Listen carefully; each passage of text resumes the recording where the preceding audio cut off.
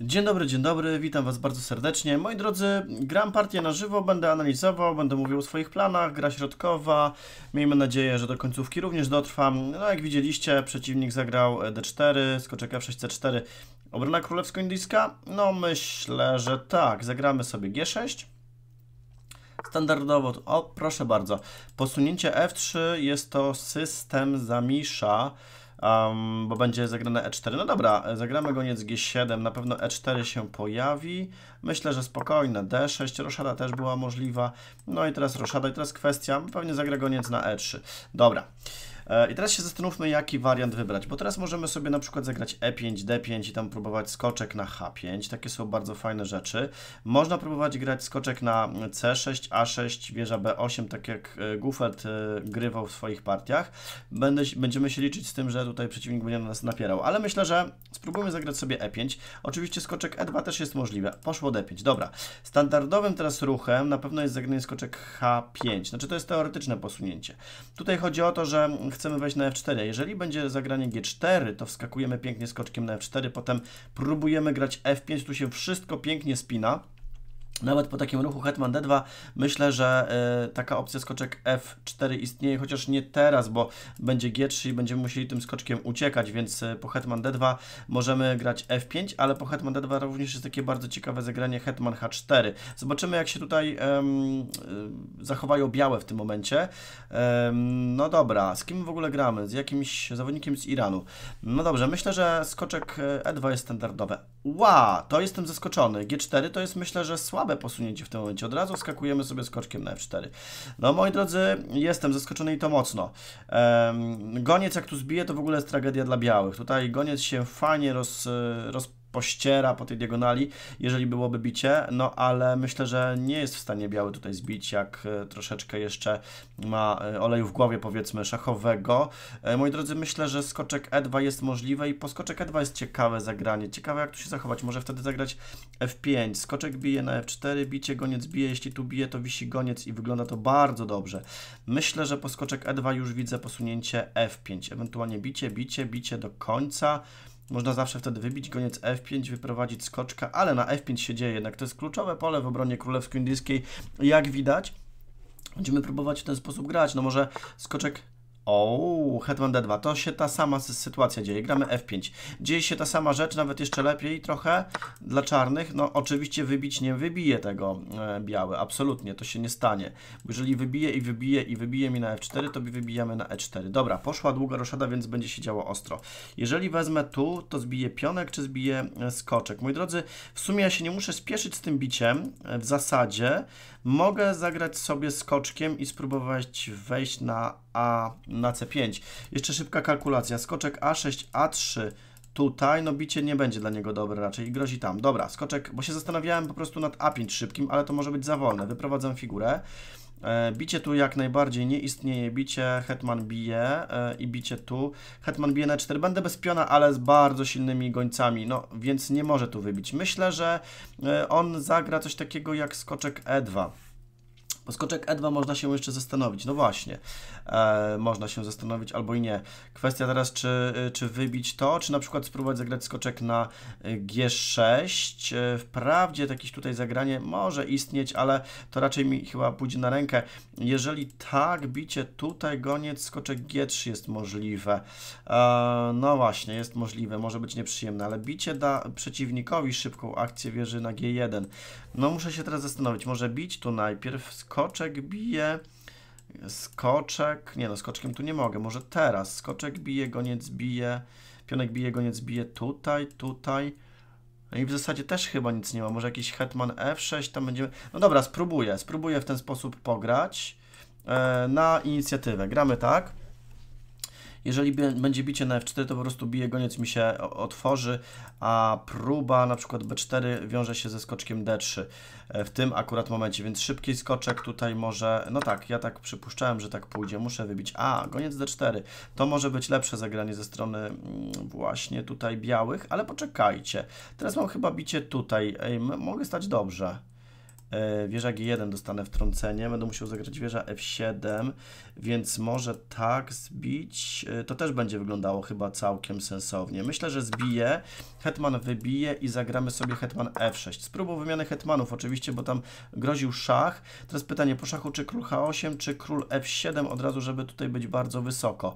Może ten król wysoko być całkiem niezły. Z drugiej strony z drugiej strony e, muszę się obawiać takiego ruchu, mm, no ale to zawsze mogę wybić, przejść skoczkiem tędy i tu, ale skoczek B5 i będzie mi atakował na F7, więc król F7 już mi trochę nie pasuje, bo nie mam jak potem F7 bronić, więc jak król pójdzie na H8, powierza G1, powierza G1, król H8 i po wymianach jakichkolwiek wieża F7 bronię tutaj, bo też trzeba myśleć o swoim królestwie troszeczkę, ale myślę, że Strategicznie już u mnie trochę wygląda lepiej. Zauważmy, tutaj pionki są na białych polach, goniec białopolowy, a ja mam gońca też białopolowego, który te pionki w końcówce ewentualnie może próbować zbijać, atakować. No i teraz kwestia, czy on wybije mi tutaj i tutaj. No to zobaczymy. Chwila oddechu, moi drodzy. Uff. No dobra, jedziemy dalej. Co on tutaj myśli? 6 minut y, na zegarze, 6,5 minuty u niego na zegarze, u mnie 7. No dobra, myślę, że nie zazdroszczę pozycji białym. E, oby tylko tego nie skasztanić, e, gdyż pozycja uzyskana czarnymi w obronie królewsko-indyjskiej w tym wypadku jest po prostu dobra.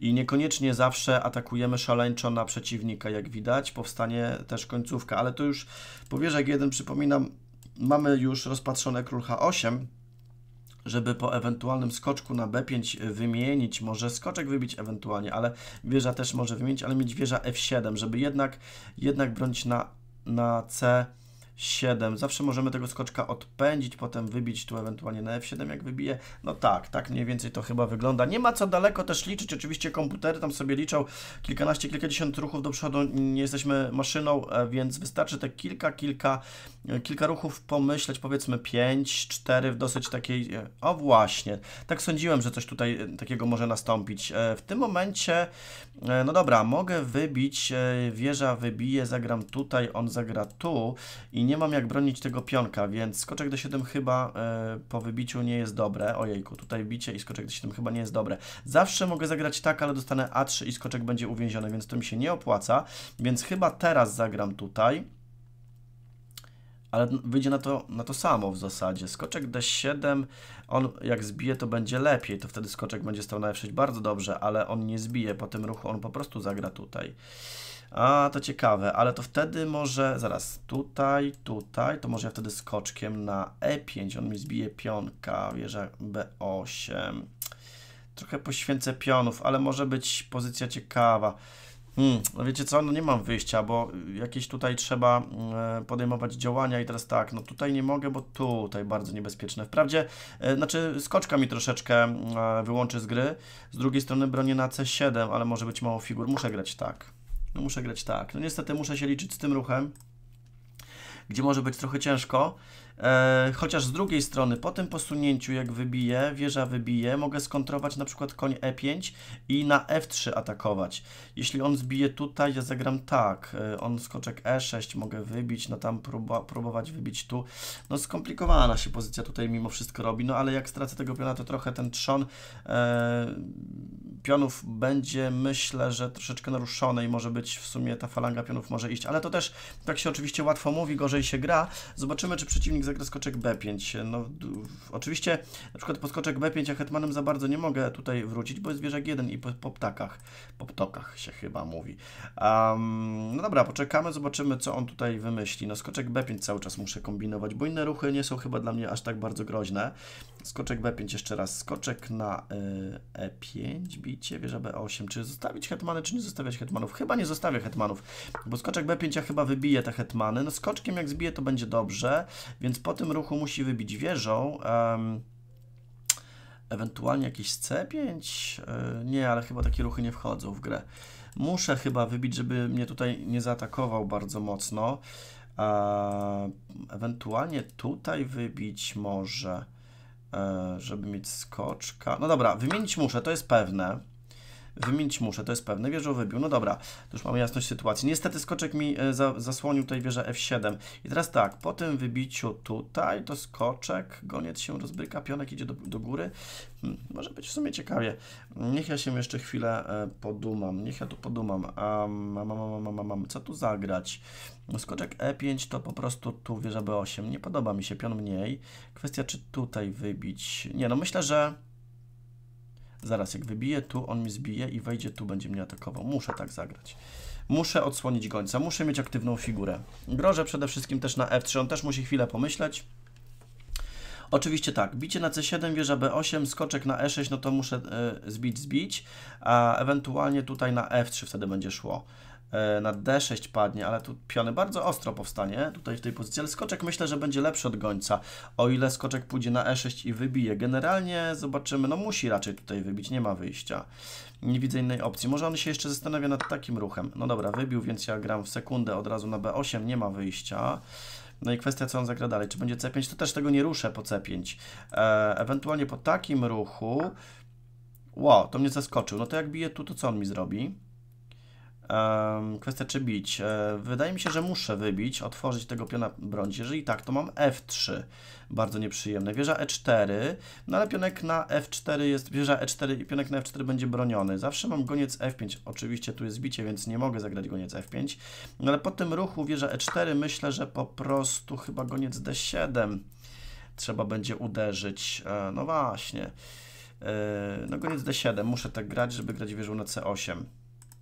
On zagra C5, podważy mi tutaj skoczka zdecydowanie. No tak, to nie będzie przyjemna sytuacja, ale po takim ruchu zagram chyba skoczek B6 niestety.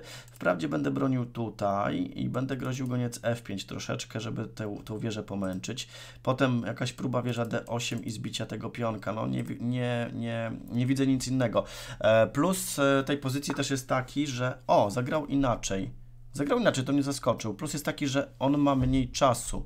To jest ważna informacja. No dobra, słuchajcie, wybić muszę. Nie ma wyjścia, bo on atakował, atakował na F4. I teraz tak, e, wieża tu i biorę tu. Tu broni...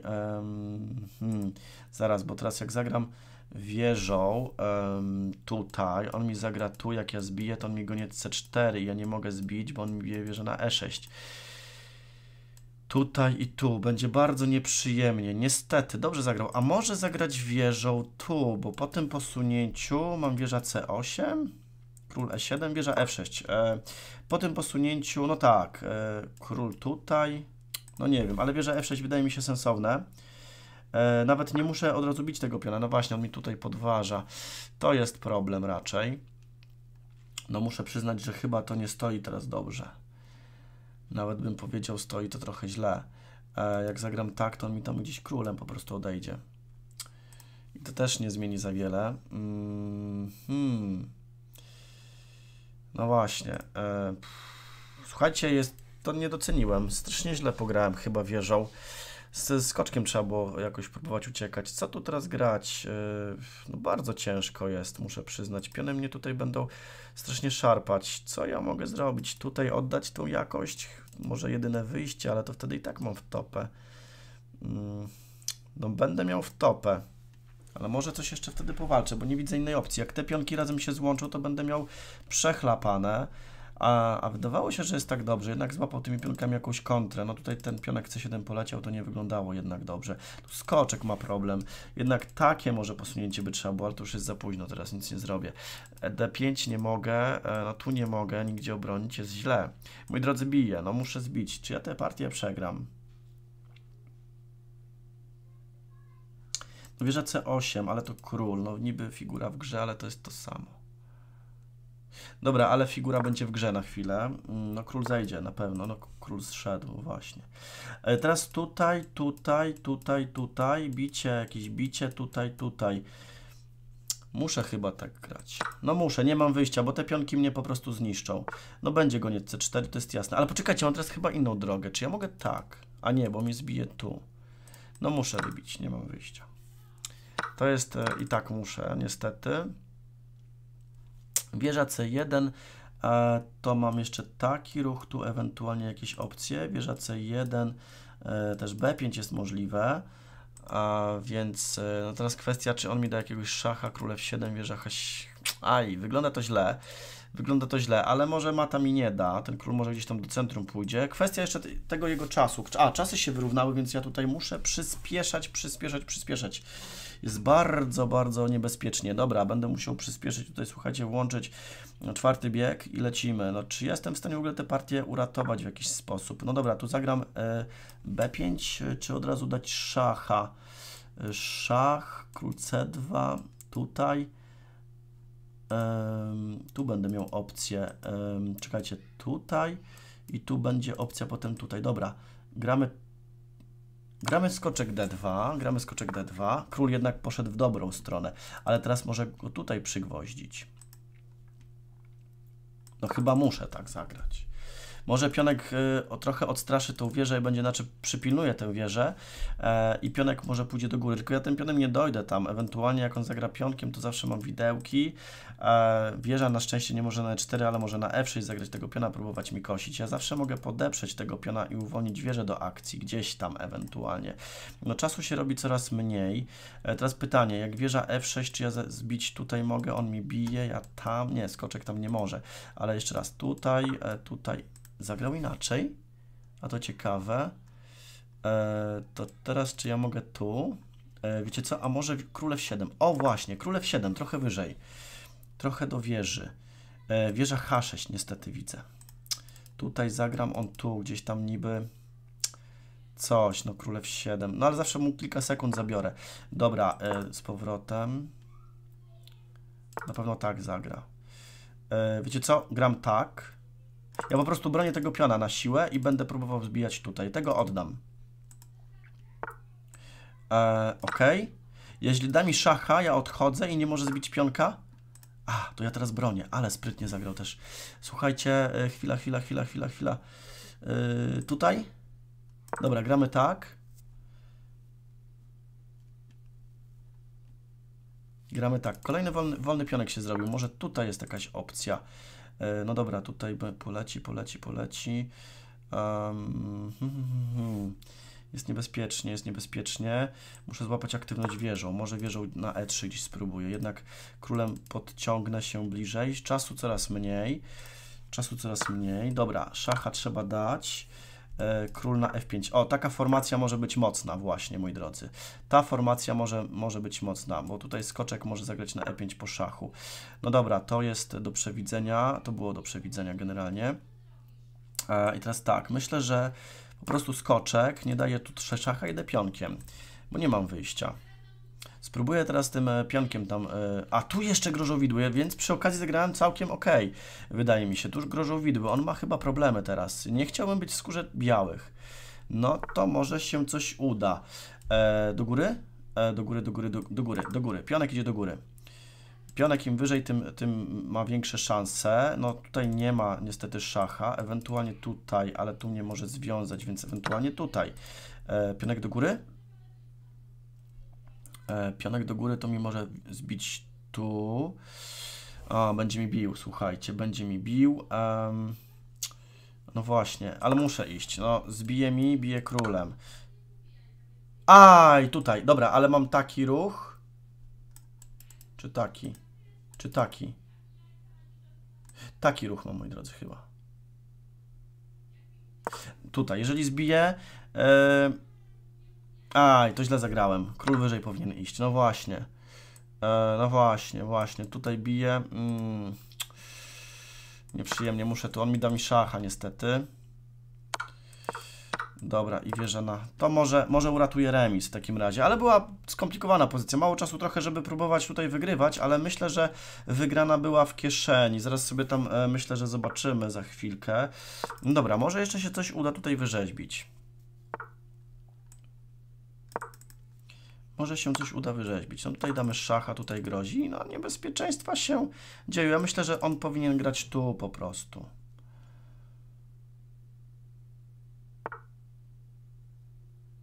Tak też można w sumie.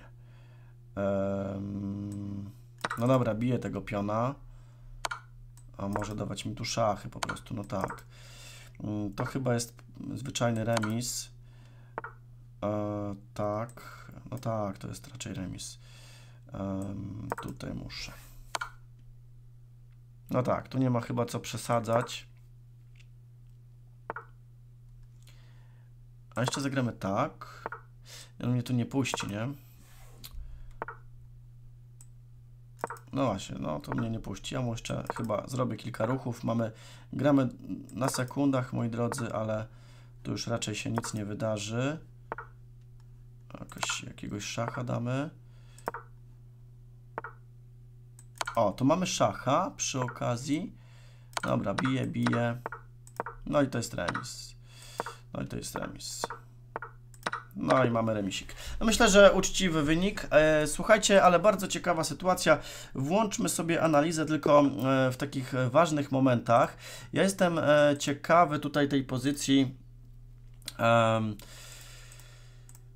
Włączę tutaj ocenę silnika. Może o warianty ocena jest. OK. E, debiut. Zobaczmy debiut w tym momencie. Jestem ciekawy mniej więcej. No nie będę oczywiście od początku tutaj tego przeglądał aż tak bardzo mocno, a jednak zobaczcie, pokazuje. Gdzie ja zagrałem w takim razie źle? Czy on zagrał dobrze? Ale zaraz tutaj. No to jest teoretyczny wariant G4. I co tu jest lepszego? No skoczek F4. Ok. Skoczek F4, Hetman D2. I co ja tutaj zagrałem teraz? A co trzeba było? H5. Niesamowite. H5 zagranie.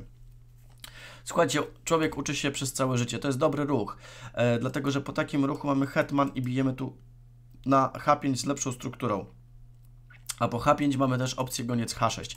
Yy, to jest dobra sprawa. No zagrałem tak niestety, ale wydawało mi się, że to jest w porządku.